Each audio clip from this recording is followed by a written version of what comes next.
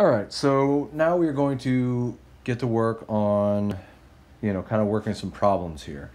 And so what I want to uh, focus on here as we get into these problems is this little aside right over here, which I can't move by itself, but where I say the head loss into expansion is V1 minus V2 squared over 2G. Okay, so we're going to use that um, a good bit, and especially in this first problem. So um, just kind of bear with me, and let's uh, let's kind of uh, jump into this problem. All right, so we've got this. Um, we've got two reservoirs. Um, I don't know if the reservoirs really have a name, um, but the reservoir on the left I'll just call reservoir one, maybe. I, I don't know. Um, we'll call this point one, and we'll call this point two, I guess. Um, and so the the fluid is flowing from reservoir one to reservoir two. By the way, when I put one and two there, I'm already thinking in terms of energy equation, um, and you know, and I chose those points because they're on the surface. So figuring out, you know, there's no v squared on two g on the surface, and there's no pressure on the surface. So those are relatively easy to work with. Okay, so uh, or at least the pressure is gauge. Um, anyway, so what I'm told here is that the elevation of the of the ele- of the reservoir on the right is 110 feet, and I'm asked for what is the reservoir what is the elevation on the reservation on the left in order to get a flow rate of 16 CFS. Okay, knowing that as the fluid flows, in this case it's water, although it doesn't say that, let's just assume that it's water. Okay. Um, which I think you know having reservoirs of uh, something other than water. Well, I guess you know it, it happens. Anyway, um, so we've got these uh, reservoirs and it's flowing through a pipe that gets progressively larger. So we've got uh, the area of pipe A, the cross sectional area is one square foot. The cross sectional area of pipe B is two square feet, and then we've got this HF, which we haven't had to deal with yet. Um, that is the friction loss along the pipe. Okay, and so we will have uh, HF in pipe A and we'll have an HF in pipe B. Okay, and it is a function of the length and the diameter, um, as well as this uh, constant up front, 0.02. Um, pretty soon we're going to learn how to, how to figure out what that constant is, and it's not an easy process, but we'll get to that. Okay, and the first pipe is 200 feet, the second pipe is 300 feet long, and then we've got DA and DB. Okay, we need DA and DB because they're going to plug in up here Okay, we need those diameters. So rather than spend a lot of energy getting that, just note that um, I'm not going to show this calculation, but you have the area, and if it's a it's a pipe, it's round, so you can do area equals uh, pi d squared over 4, and you could back out calculate that the dA is 1.128 feet and dB is 1.596 feet. Okay, so those are the diameters of those pipes. Okay, so what we want to do is we want to find the elevation in the reservoir one, and we want to draw the HGL EGL. Now what I'm going to do here real quick is I'm going to make a point of where we have head losses. So we've got these, you know, what well we haven't I haven't called them this yet, but these are called uh, minor losses. So we've got minor losses. Basically, we've got two expansions, two places where the pipe expands, and I've got an entrance loss right here. Okay, so I'm going to kind of dot that in. And what I want you to do with that dot is I just want you to make note that it exists, but we're going to ignore it for now. Okay, so we're going to ignore it both in our calculations and in our HGL, EGL, um, but it should be there. Okay, so uh, we're going to ignore it, but that doesn't mean ignore it overall. It's just that we don't know how to deal with it yet. Or maybe I'll draw it in the HGL EGL, and I'll just make a note that we're ignoring it. Uh, so that means its its value is zero. Okay, so what we're going to do here is um, in order to figure out what this elevation is, I need to start thinking in terms of the energy going into the system and the energy leaving the system. So what I'm going to do is I'm going to treat um, position one as my in and position two as my out. So that's pretty standard. And we're going to use the energy equation. And this is going to get, well, let's, let's think about this real quick. Okay, so the energy equation. All right, so if we look at this, let's see. So we can we're just going to kind of do this it, you can never do this too many times okay the pressures at one and two they're both in the atmosphere so we'll make them zero okay because they're gauge pressure zero gauge okay z is what we're looking for so we'll leave z1 alone z2 uh, we could we could make that the datum i'm going to go ahead and make it 110 feet because that way when the when i solve for z1 i've got my answer However, if I make Z1 the, I mean, if I make Z2 the datum, then I get an answer that just tells me how high it is above uh, Z2. And I'd much rather just have it in terms of absolute elevation. Um, what I'm going to do for simplicity, um, and you just have to trust me on this, um, I don't want this lecture to go on forever. So we're just going to assume that these alphas are turbulent. So we're going to make those 1.0 just to, so that we don't have to worry about it. And that's going to be throughout the problem. However, in this case, at position 1 and at position 2, we're at the surface of these reservoirs. Okay, and the surfaces are not moving very much because of the tank or the Tahoe assumption. So it doesn't really matter right here, but it will um, later on. Okay, we'll note that between position 1 and position 2, there is no pump. Okay, we'll note that position between positions 1 and 2, there is no turbine. Okay, so what do we end up with? Well, we end up with Z1 equals 110 feet plus the head loss. Okay, that's nice and easy. So basically what happens is um, this system is being driven by a pressure difference, I mean, excuse me, elevation difference between Z1 and Z2, and that is being that is being accounted for in this head loss. Okay, so um, let's see. So now we have to start thinking about that head loss. Okay, and the head loss comes from, as best I can tell, um, we've got, I've drawn two of the sources. We've got head loss here, we've got head loss here, but we've also got head loss along these walls in A, and we get head loss along the walls in B. Okay, so that's four sources of, of head loss, and then the fifth one, which we're going to ignore. So we want to do these kind of one at a time. Okay, so let's um, let's look at these one at a time.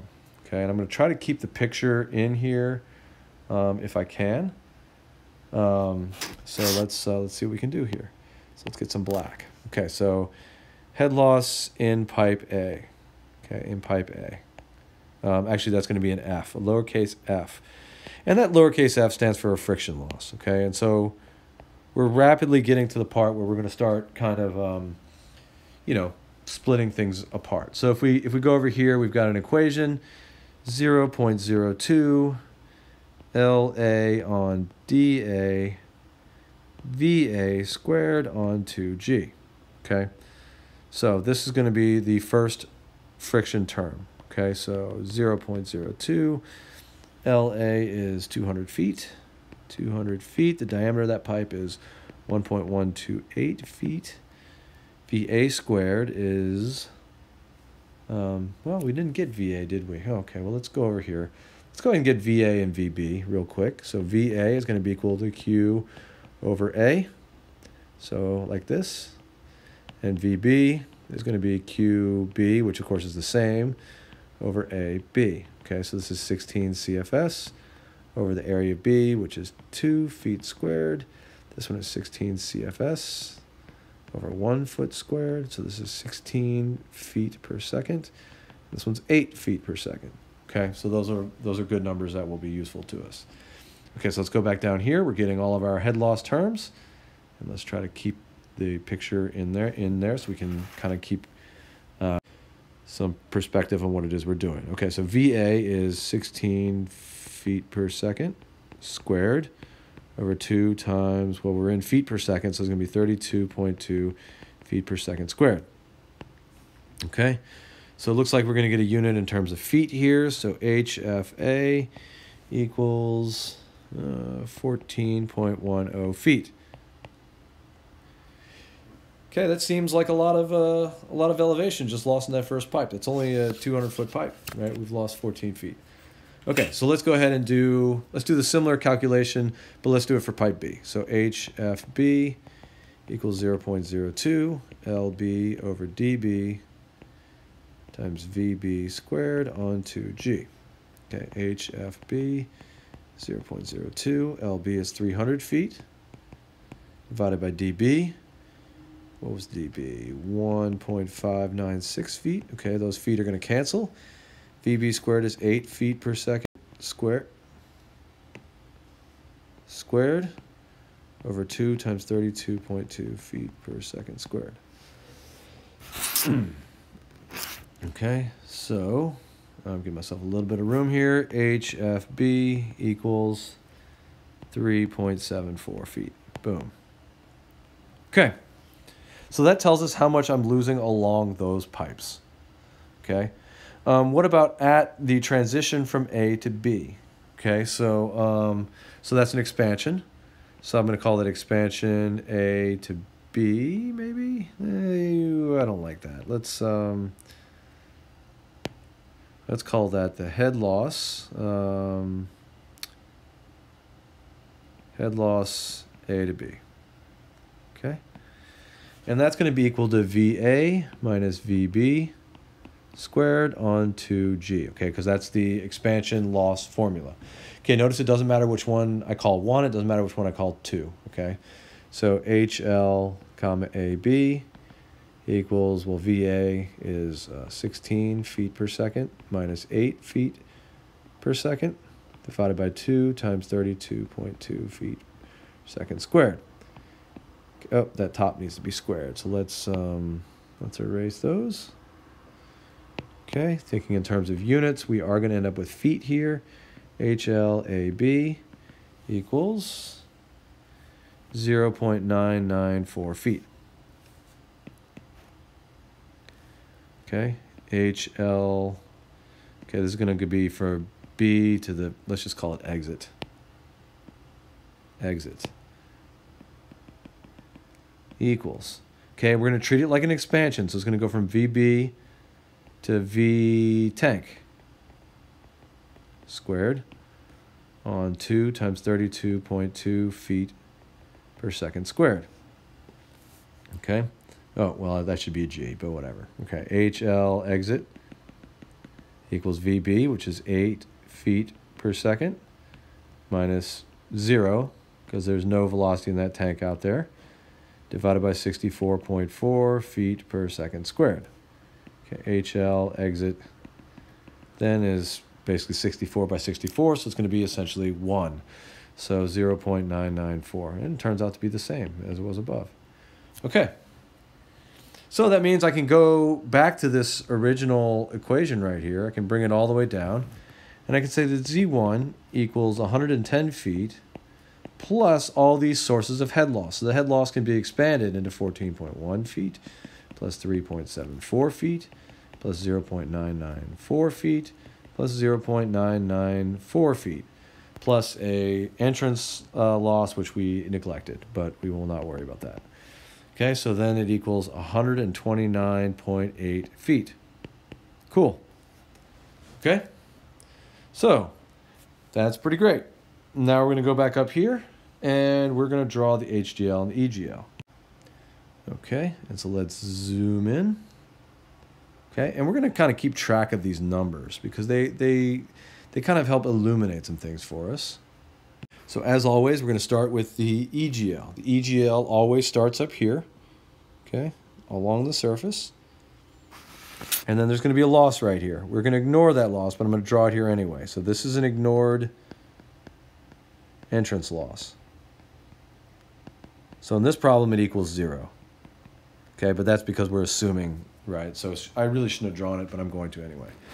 Okay, so then along this first pipe, it's narrow, so we're going to lose an awful lot of energy. Boom. Right? Then there's going to be a head loss here. Right? And then we're getting the fat pipe, so now we're not going to lose very much. Okay, and then we're going to have another little. Uh-oh, what happened? I drew it poorly. Right? Now this is, I drew it poorly on purpose, by the way. But what I want to make a point of is use, your, use a little artistic freedom here and come in here, and if you draw it poorly, that's okay. Okay, redraw it, right? Give yourself some space. Be easy on yourself, right? So, you know, we can, you know, this is, uh, this is America. You have enough freedom to redraw things. Okay, so here's my water surface. Z is 110 feet. Okay, and here's my EGL coming in right? Okay, now note that from here to here, we lost, uh, what was it, 14.0? 14.10 feet. Right here is 0, 0 0.994 feet. From here to there, we lost, um, how much do we lose? 3.74 feet. So from here to here is 3.74 feet. And then right here we lost 0.994 feet. Okay? And so that accounts for our total loss going from 129.8 feet right here 129.8 feet okay that's the ugliest 129.8 I've ever written 129.8 feet okay and we just lost it progressively now most of it was lost in this first pipe because the pipe was narrow okay. All right now what? Oh well now we're done with the problem. Oh no we're not. We need an HGL okay so that was the EGL so EGL is in red. Usually when you do this EGL is going to be in a solid color and the HGL will be in a dotted. All right, so as we start thinking about EGL, remember the, I mean, excuse me, the HGL, the only things we want to think about is what is the velocity at that point. Okay, so we're trying to think kind of what is v squared over 2g because that is the difference between these two. So um, we're just going to subtract v squared over 2g from our EGL. So right in, in this first reservoir, we note that there is no um, v squared on 2g because we're in this reservoir. Okay, so they're in the exact same point. Um, we'll notice the same will hold in the second reservoir. Okay, so here we go. So ideally that line would be right on top of the other one. Okay, so now we need to start thinking about, okay, well, where is the velocity the biggest? Where is it the smallest, et cetera, et cetera? We'll note that in here, okay, in this large pipe, v squared on 2g is very small. Okay, and in this smaller pipe, v squared on 2g is very large. So what I'm going to note is that the the um, the HGL is going to come in and it's going to meet that line right there. Like HGL doesn't have head losses, so it's just going to kind of meet.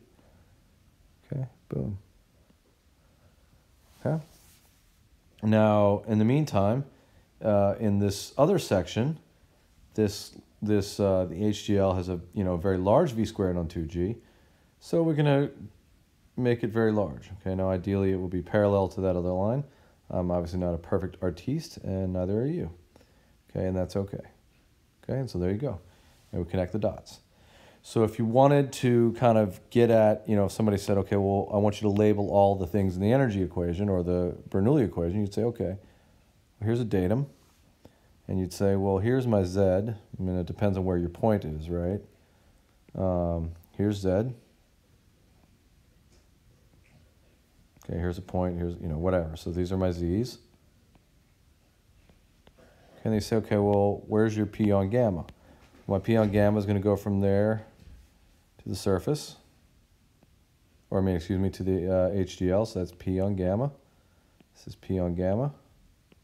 P on gamma, you know, you know, depending on where, where your z is. Okay, those are your p's on gammas. Okay, now where's your v squared on 2g? Well, that's in between these two, v squared on 2g. Okay, so, um, you know, v squared on 2g. Okay, and what we note here, um, and, you know, I, I hadn't really talked about this, but, you know, so like, for example, this, this point right here, you can see z, you can see p on gamma. There's no velocity right there because we're sufficiently far enough from that opening. However, I could have easily picked a z right here and note my pressure would have decreased, right? So this, now how did that work? Well, that's just hydrostatic pressure, right? So the deeper you go in this fluid, the more pressure you have. So if your Z is right here, well, let's make that in uh, black. If your Z is right here, okay, well then you've got, then your pressure head is P on gamma, okay? It's that, you know, it's um, basically that it's much bigger, right? Okay, so in that case, P on gamma equals the entire depth, okay? It equals depth, so P on gamma equals H, right? So P equals gamma H. All right, so that's um, the first problem, and let's find some more. All right, so let's scroll over and see what we get. Okay, here's another problem. Okay, and so we've got two reservoirs. I'll go ahead and name them this time just uh, so that we can uh, kind of refer to them. This will be reservoir one. See reservoir 2. Okay, again, that's going to be an energy problem, so I'm going to go ahead and choose point 1 because it's on the surface. And I'll choose point 2, and I'll use those in place of the reservoir names. Um, so that's a sloppy beginning to this problem. anyway, um, so I know I've got a flow rate of uh, 0.698 CFS, And it tells me, you can see little arrows showing that the flow is going from 1 to 2. Um, now, you might be asking yourself, how is the flow going to go from 1 to 2? Notice the elevation in 1 is lower than the elevation in 2. So the total amount of energy in 1 is less than total energy in 2. So that really shouldn't be able to happen. But it can do that because this little thing right here is a pump. Okay, it doesn't really say that it's a pump, but it is a pump. Okay, so what we, what we want to do here, the required here, is we want to know how much head does the pump have to add to this system? Um, and actually a better question would be how much power. Um, let's go ahead and uh, let's solve for the power of the pump as well. Okay, just because um, that might be a good thing. And actually, um, let's add, let's go ahead and solve for the power to the pump. Okay, so how much power do you need to supply this pump? So let's go ahead and do that. Um, let's assume the pump is 65% uh, efficient. Okay, so let's go ahead. And, I'll just I'll just add that in. I'll have to go get a calculator and solve that when we get there. But luckily, you guys will not have to wait while I do that. Okay, um, we're also going to go ahead and do the EGL, HGL. Okay, so that's a lot of things. But really, the head of the pump, the W the the power of the pump and the power to the pump are things that um, you know we have to um, you know we kind of have to do all those in turn anyway, so it's no big deal. Okay, so let's go ahead and let's start thinking about how to solve this. Okay, so we're going to solve this by doing the good old-fashioned energy equation. Okay, so we're just going to start um, getting rid of terms. We note that I chose points 1 and 2 in such a way that they were on uh, part of the atmosphere. Okay, so that, that way I could go ahead and say that these are zero gauge because I don't want to have to deal with those punks, right? Uh, Z1 could be my datum if I wanted it to be, but it's it gave me it's 90 feet, so I'm going to kind of keep it at 90 feet. Okay, Z2 is at 140 feet. Okay, notice I chose my position such that they would have no velocities, which means these velocity heads are zero because there's no velocity head there, no velocity head there because I'm at the top of a tank. Okay, so that's the, the old tank assumption. We love the tank assumption or the Tahoe assumption. Okay, HP, well, we don't know what HP is. Um, HT, well, there is no turbine. Okay, head loss. Well, we'll get to that. Okay, so if I rearrange this, I'm going to get HP equals 140 minus 90 is 50 feet plus the head loss. So basically, this pump has to raise the fluid 50 feet and it has to deal with the fact that it's going to lose energy on the way there. Okay, so just like on the last problem, I'm going to start thinking about, well, okay, so let's look at the sources of head loss. Okay, well, we've got a little bit of head on this entrance. Maybe I'll put that in a dotted line because we're going to ignore that for now. So I'm going to go ahead and put a star and say we're going to ignore that. I'll still draw it on the EGL, HGL, um, because, you know, we probably should. There's technically some head loss inside this pump, but we're only going to worry about the net effect of the pump. So we're not going to worry about that. Um, and then there's a exit loss right here. Okay, and then of course we're going to have friction along these pipes. Okay, so all these red things, so there's three places where we're going to have loss of energy. Okay, um, and so we need to quantify those as best we can.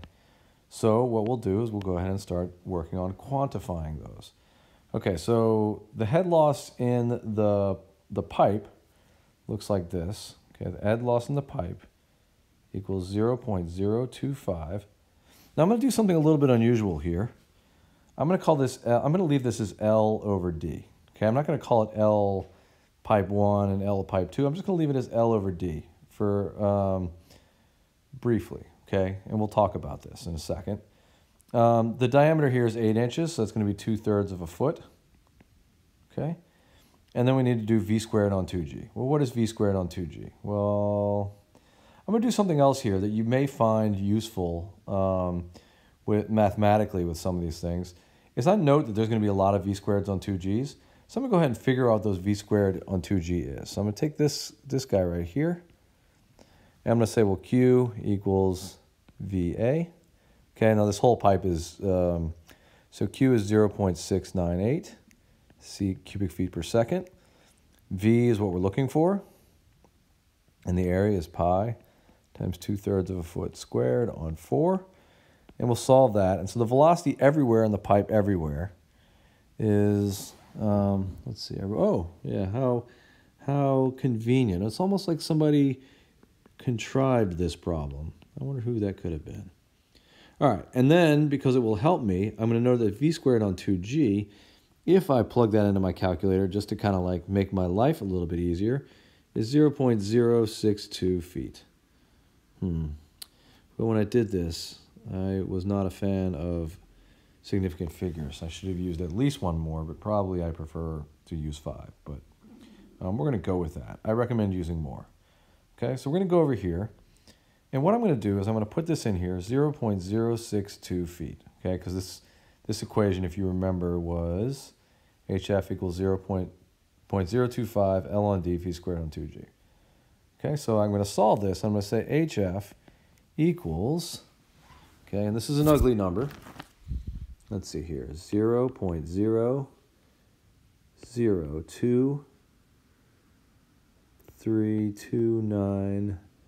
3292. Oh, good. L.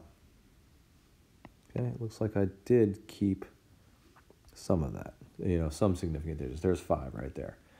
Okay, so cool. All right, now why did I leave it like that? And here's why, okay? So this formula here, and we're going to be playing with this formula a lot lately, uh, soon. Okay, this tells me how much I lose total over a length L of the pipe. But, okay, so it tells me how much I will lose total over any length L of the pipe. Okay, this, the way I've left it here, this tells me how much I lose over any length of the pipe. So if I put in, so like if I want for the, the entire length of the pipe here, I've got 1,000 feet and I've got 2,000 feet. I could plug in 3,000 here and that'll tell me how much energy I lose over the entire 3,000 feet. If I just want to know how much I lose in the first foot, I can plug in one foot right here for L. Okay, so what this is, this is the slope of the EGL. Okay, this is how much energy we lose per foot. Okay, and that is why I like it. Okay, that's why I set it up this way.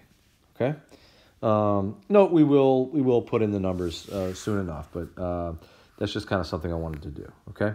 So now I also want to get into the head loss at the exit there. Okay. So that, that this equation accounts for both of my pipes. Okay. In fact, I think I could do that. Um, let's see. It looks like I didn't, uh, I didn't do that here. Well, because I'm some kind of bum. Anyway, so um, head loss in the exit here. Um, well, let's see. So that's going to be velocity in the pipe minus the velocity in the tank. Okay, so this is um, the expansion um, equation over 2g. So head loss at the exit equals the velocity at the pipe, which is just v essentially, what we, what we solve for over here with this v squared on 2g. Okay, minus the velocity at the tank, tank, which is 0 squared on 2g. So I think if you look at that, you can see that that's the same here as here. So head loss in the exit equals 0 0.062 feet. Okay, probably not going to be really important. Okay, but I guess we'll find out. Okay, so let's go back to my um, equation here. So I've got um, HP equals 50 feet. Now I'm going to take both of these sources of head loss, okay, because they should add up to, so I'm going to put 0 0.0023992. L in this case is going to be 3,000 feet plus 0.062 feet. So HP equals, um, let's see here. Hmm. So ultimately it's going to equal 57.0926 feet. So HP equals 57.09 or just 57.1, right? Okay, if we're going to report that. Okay, so there you go. Boom. Okay. Uh, oh, looks like I had six significant digits, so I got excited. Okay. Um, but that's what we that's that's the HP. We want the W dot. So how do we get that? We if we look at our notes to get the power to um, to make this thing kind of do its thing, we want to go, okay, what's the power here? Um, well, the power is going to be equal to gamma Q HP. So W dot equals gamma, 62.4 pounds per cubic foot. Okay, Q, um, Q was 0, 0, 0 0.698. CFS, and then the HP is 57.09. We're going to go 3 because we're going to go back to the 5 significant digits rule. And that gives us, okay, this fancy number here, 2486.7. And we notice the cubic feet cancel with the cubic feet. We get pounds per second's foot, so foot pounds per second. And then, I mean, it's a perfectly adequate unit. So if we wanted to report it, we would report that by doing 2490 foot pounds per second. A lot of times people would prefer um, horsepowers. So what you do is you take this number right here and you divide by 550. So if we divide by 550, we get 4.52. 4.52 HP. So either one of these would do as a reported answer. Okay. Now, um, in this case, though, we wanted to know, so that's how much energy the pump is supplying to the fluid. Um, but we might want instead to know how much do I have to supply the pump? And the pump's only 65% efficient. So if I take that into account, I'm going to have to supply more than 2490. Um, so I want to know how much do I have to supply to the pump.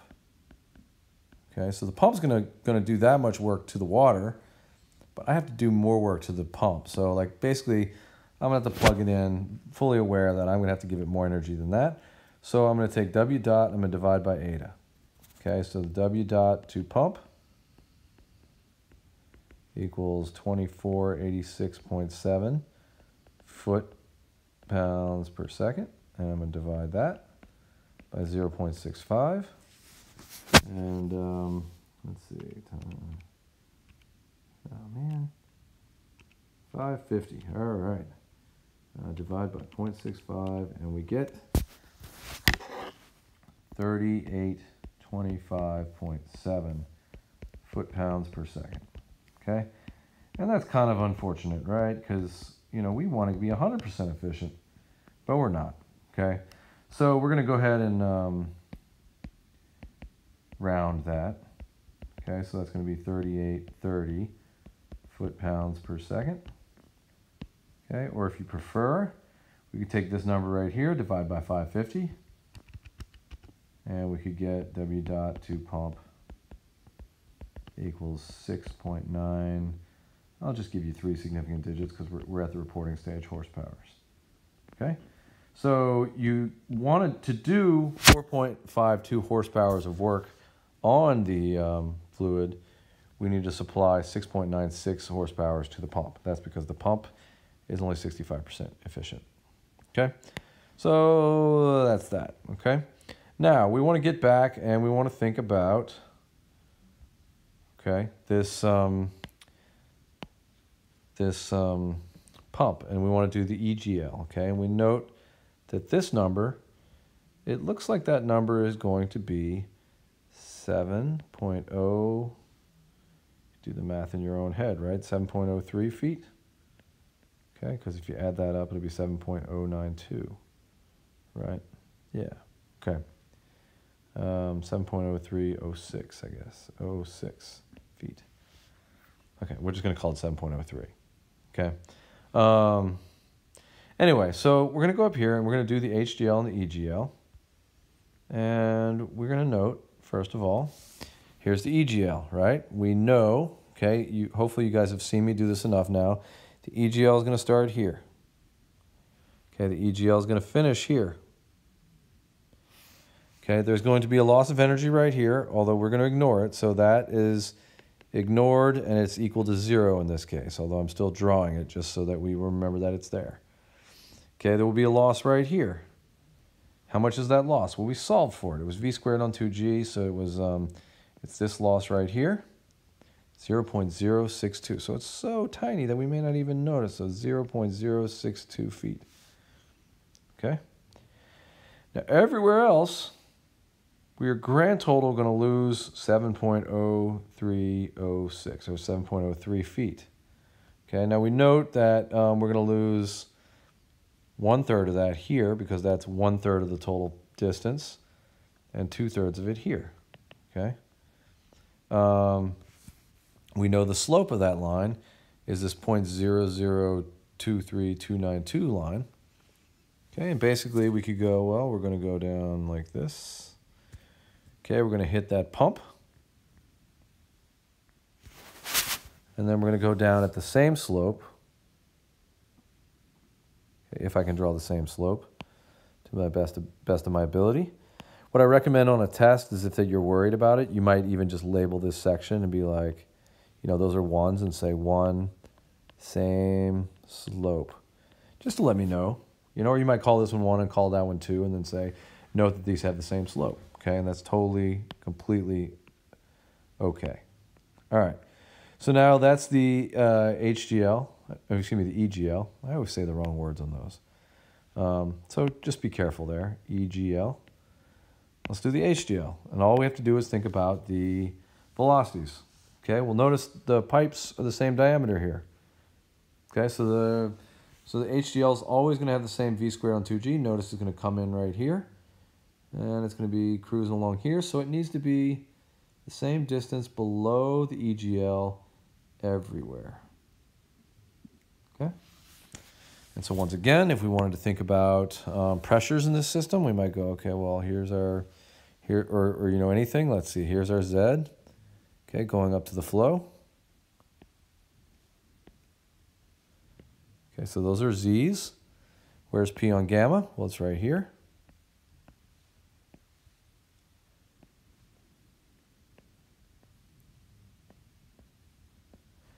Okay, and where's v squared on 2g? It's right in here, right?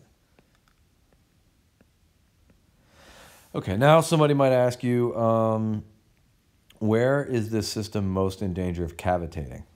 Okay, so if they said, where, where is cavitation most likely? Okay, what you're looking for is where is the pressure the lowest? Okay, what's your answer? Okay, so remember, we're looking at this, this area right in here, and we're trying to say when are these, when is it the lowest? Okay? And the answer is the pressure is the lowest right here, right before we get to that pump. And that's very common. Okay? And so basically on the, uh, I guess the upstream side of the pump, you worry very often. So like a lot of times I'll ask you this on a test and you're gonna draw a little star in the spot with the lowest pressure. And in this case, it's right there. Okay, right, well, I've really, really mucked it up. So let's, um, let's draw a star right there, okay? And the pump is right here, okay? And it's right before you get to that pump. And oftentimes that's what a pump does. You put the pump in there right when you're worried about cavitation or something like that, and you just raise the pressure of that whole system right there. Okay, so, hmm. So looking at my last question, it's not really a, it's really an energy equation question. Um, so I think what we'll do is we'll call it here. So this will be a, a shorter lesson. But, um, you know, this HGL, EGL is kind of a long lesson overall anyway. So anyway, again, as usual, take care of yourselves. Let me know I can help. Um, I hope that this was a good way to present this. If you didn't like this, you can look at last semester's um, uh, videos, which are still available uh, on YouTube. But um, I think I think this was a better way to present the HGL EGL. Anyway, I hope you guys are doing well, and as always, take care of yourselves. You you are more important than this class. So, um, and I will um, see you guys later. All right.